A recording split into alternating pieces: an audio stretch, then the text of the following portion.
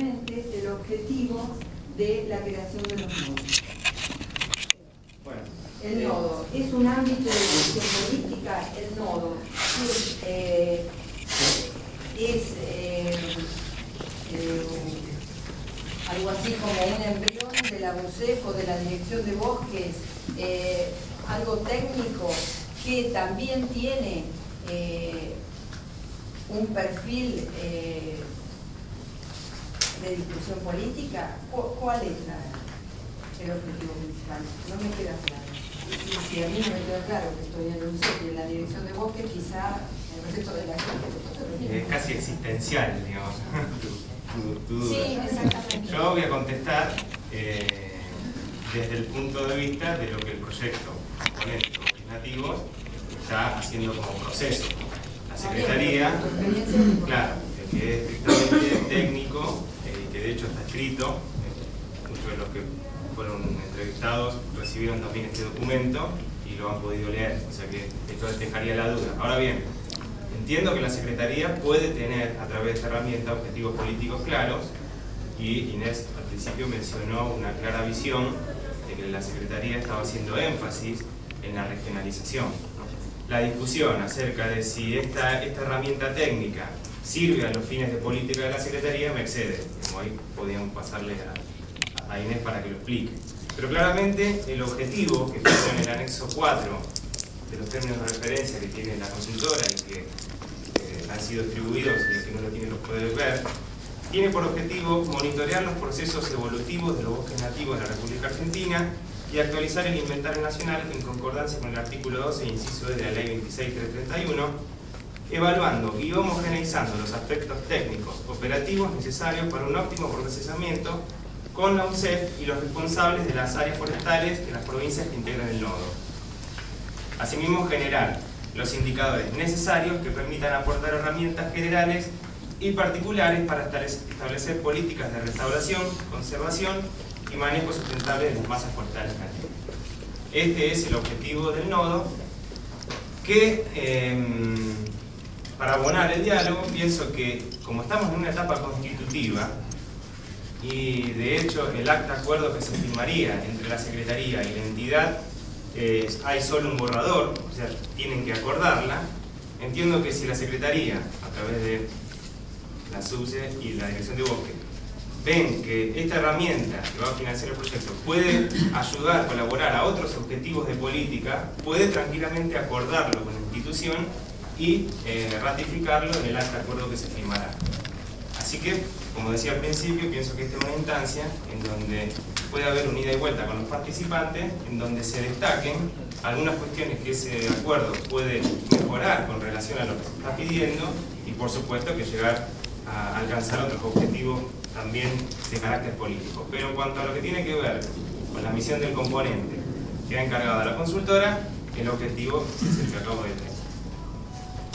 Eh, después eh, voy a tomar la atribución de avanzar sobre otras cuestiones.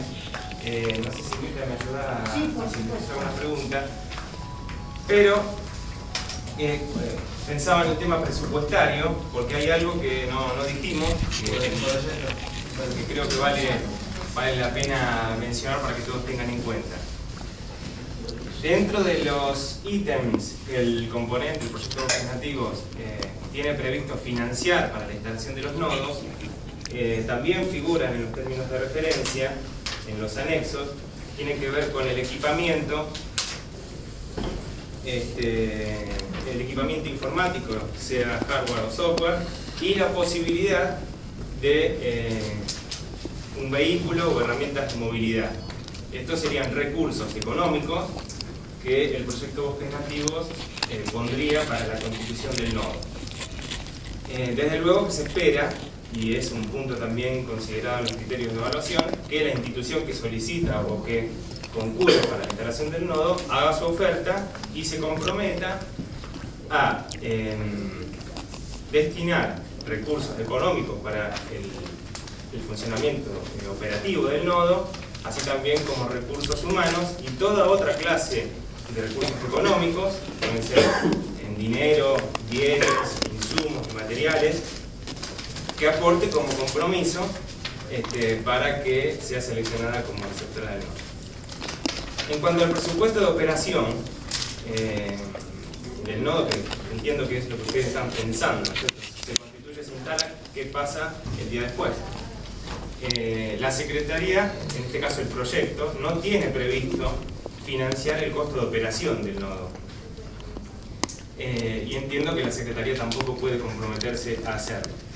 En este caso, se espera que la institución que recibe y que demanda el nodo haga el esfuerzo mínimo de eh, sostener los costos operativos y de recursos humanos del nodo y eh, como mencionaba Mario en uno de sus puntos eh, de las debilidades en base a la experiencia del nodo del Parque Chaqueño pensamos que el nodo a constituirse debe poder o debe tener la capacidad jurídica de prestar servicios y cobrar por ellos y esto porque vemos que la sostenibilidad económica de los nodos es un tema difícil de, solucionar. Entonces, ahí va, ahí acá una pregunta que, sí, y de la 256, eh, yo lo voy a contestar en términos de los próximos nodos. Eh, la forma jurídica que constituya el nodo en Monte Espinal debería poder contemplar la posibilidad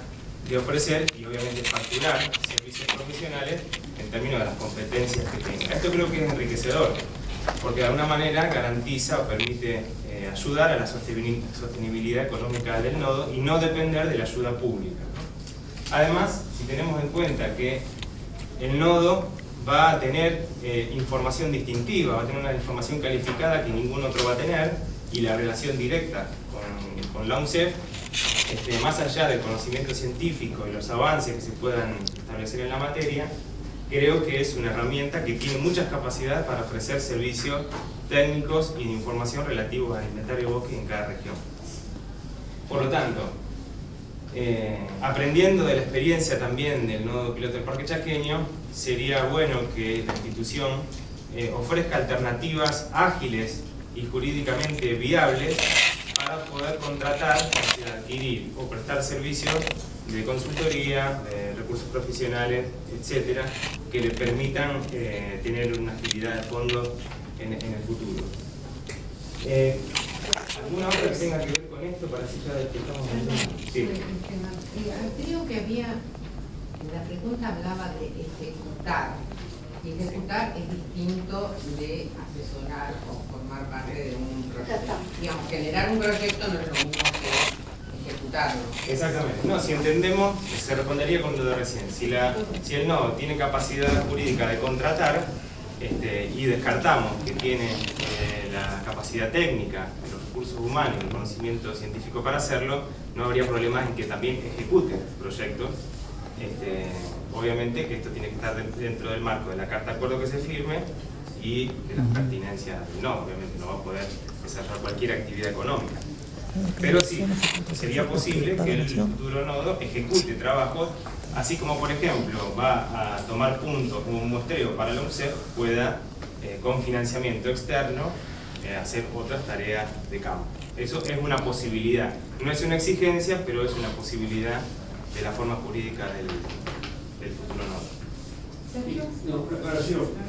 Ahí en su momento, cuando se discutió esto, eh, siempre quedaba cualquier trabajo que hiciera el nodo al referéndum de la Secretaría. O sea, ese trabajo tiene que estar aprobado por la Constitución, que sería la UCE, y Pero puede contratar... La realización. Claro. Carlos. se eleva el, el, el, se eleva, por ejemplo, si se presenta la, dirección de bosque de Santiago del Estero, o la de Catamarca, tiene un, adjudicado una resolución 256 eh, un proyecto que tiene ciertas metas a realizar. Y el, nodo regional tiene la capacidad técnica y jurídica para establecer un contrato con la dirección de bosques, tiene que, de la, provincia tiene que presentar esa, esa esa propuesta de trabajo, elevarla a la dirección de bosque Y si ahí se, se acuerdan, lo, lo pueden hacer. y- y eso es, digamos, una de las formas en donde se podría generar una autosuficiencia de recursos y una multiplicación de los, eh, recursos que están, eh, cuantiosos que están a través de la ley volcados hacia la ejecución con problemas de ejecución porque es una actividad nueva que falta, falta dinamizar. Sí, la idea de eso, eh, de consultar a la dirección de bosques, era no eh, descuidar las tareas eh, Esenciales. esenciales del nodo. Tiene la palabra Carlos. De acuerdo a lo que entendí, digamos, en su exposición, que la sede debería eh, generar recursos propios, en cierta forma, para poder sostenerse, porque no habría posibilidad de derivar de la nación y demás. Sin embargo, la sede del nodo está eh, recibiendo información de toda una serie de eh, provincias que están formando parte del nodo. Eh, no me queda claro cómo se el tema de la propiedad de la información. Yo estoy generando un mapa de bosque nativo para una provincia, pero la sede está en otro lugar, en otra provincia. La sede que está en la otra provincia y desarrolla un servicio, una tarea, para la la información que yo generé. Eh, supongamos que se admita que yo generé. ¿Cómo se resuelve ese problema de la propiedad de la información? El otro está cobrando, pero la información la generé yo. O la generó mi facultad o mi, mi universidad. ¿Se entiende la pregunta?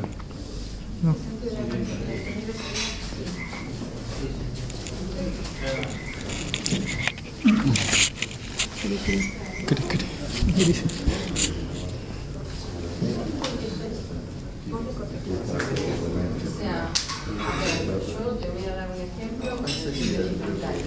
La Secretaría pagó eh, la ejecución del primer inventario.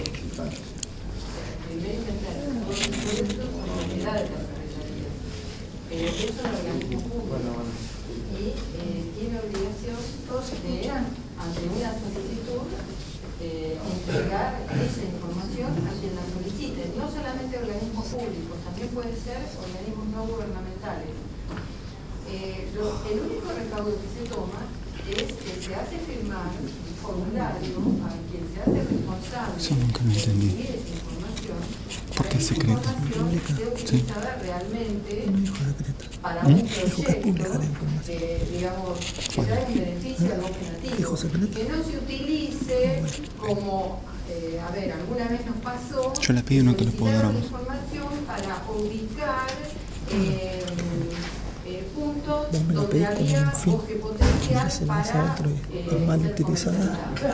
Nosotros que somos los propietarios, Sí, pero ¿por qué no está garantía ¿Por qué no está para bajar? la tiene que hacer otra parte. El informe. El informe, pero no los shows. otra parte tendría que ser pública también. Los también.